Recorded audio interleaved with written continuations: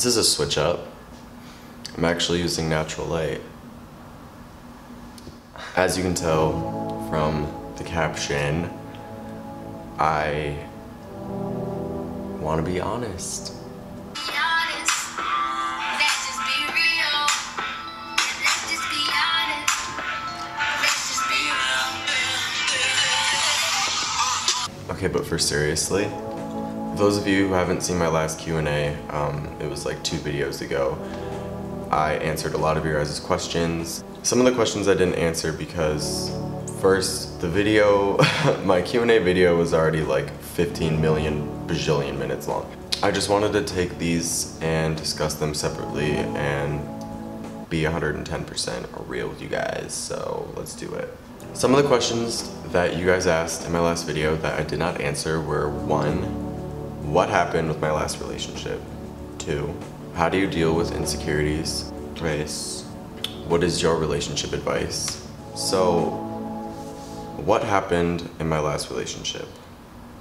What happened with me and Mason is obviously between me and Mason. But if I'm gonna be out here, you know, expressing myself and my life and who I am to the world, then I need to be upfront with you guys. I mean, I don't need to be, but I would like to be because if I'm not, that makes me hypocrite, right?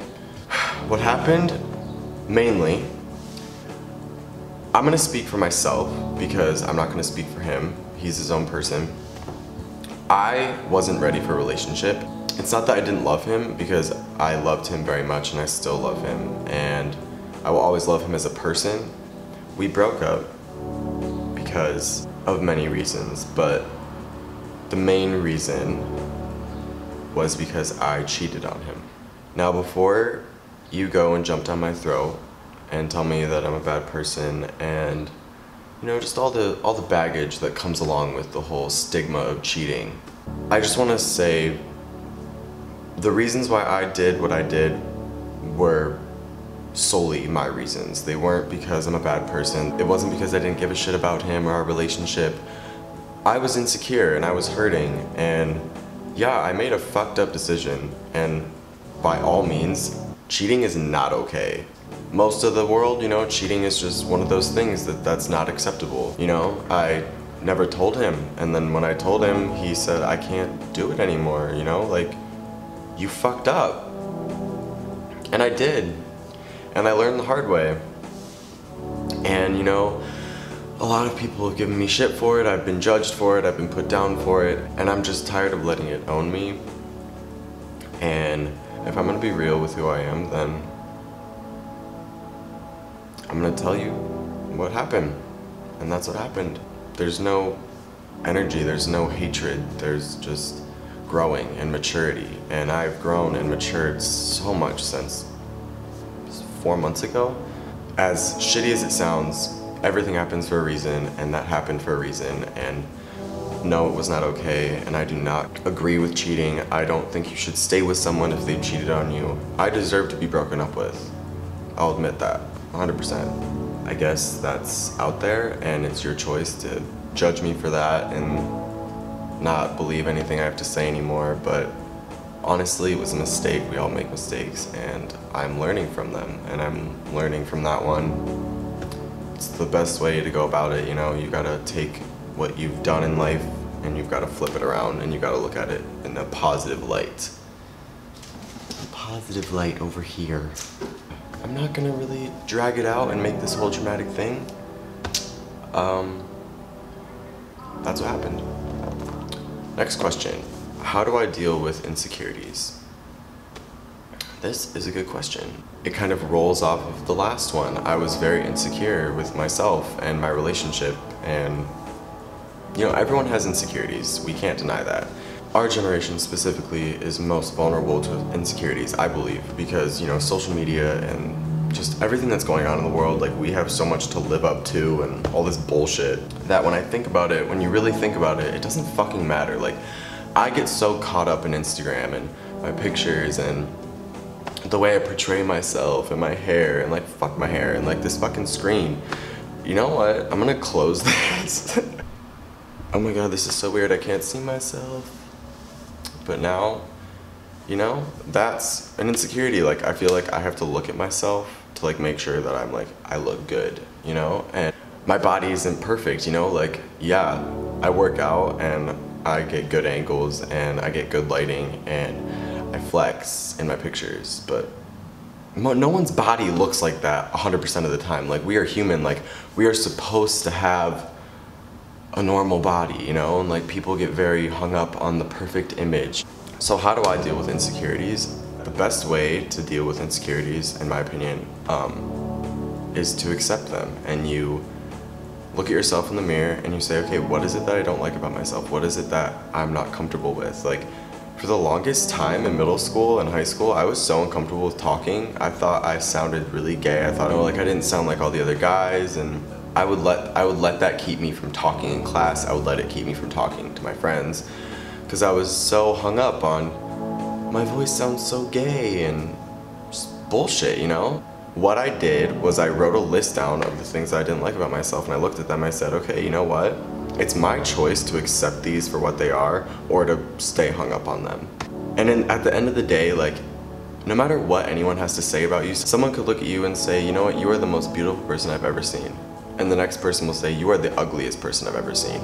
And you cannot take what anyone has to say about you, whether it's good or bad, and take it personally.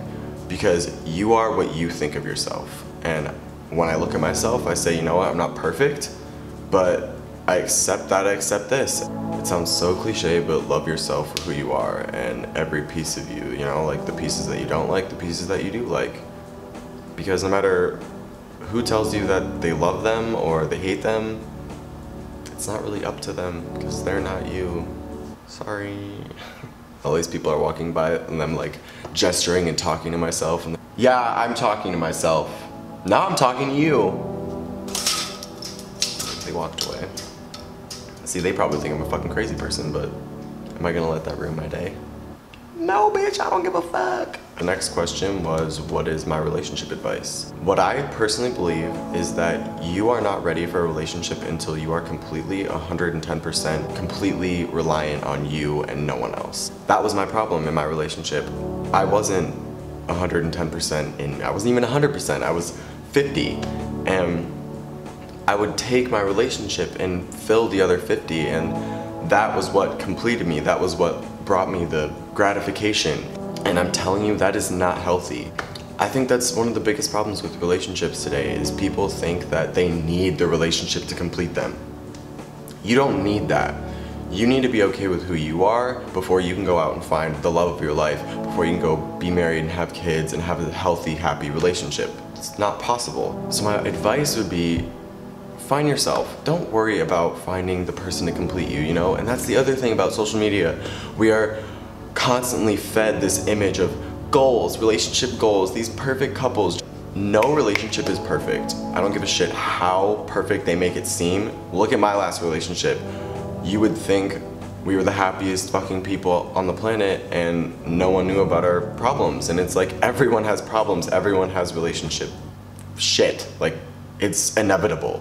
My advice is to stop letting that depict what you want in a relationship. You're both standing on the fucking edge of a cliff making out and there's the blue ocean. Oh my god, relationship goals. That's not real life. Relationship goals is when you can be with someone and they can look at you at your lowest point and accept you for who you are. There's this little like mantra, I don't know if anyone's heard of it, but it's one plus one equals three basically what that means is one whole person plus one whole person equals three because three is the relationship. The relationship itself is a separate thing. That You love that person completely, but you understand that the relationship is different from you. My goals, my dreams is different from their goals and their dreams, but our goals and our dreams together make our relationship.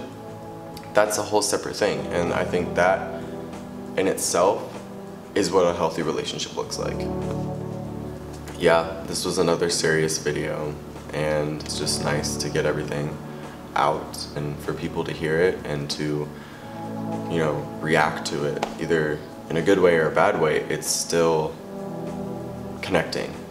I guess I just want to say wherever it is that you guys may go in this journey of life, to remember to not let these questions overwhelm you.